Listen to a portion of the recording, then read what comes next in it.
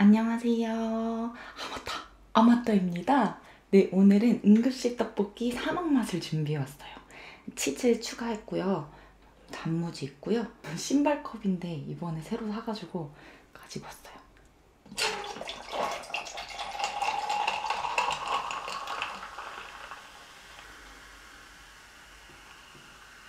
오늘도 맛있게 맛있게 참 맛있게 잘 먹겠습니다.